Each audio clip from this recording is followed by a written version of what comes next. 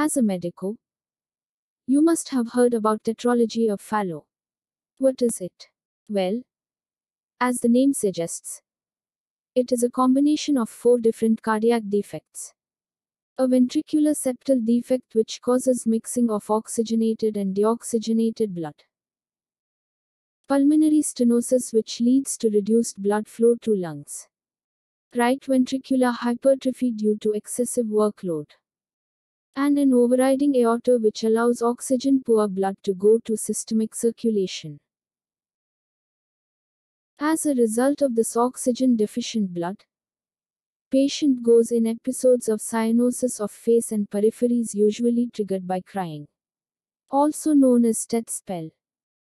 The shunting of blood in tetralogy of Fallot can cause shortness of breath, clubbing of fingers or some episodes of fainting. There is a cardiac murmur on auscultation, and heart appears boot-shaped on chest radiograph. Management of TET spell includes postural change of patient which reduces shunting of blood, oxygen inhalation or use of drugs.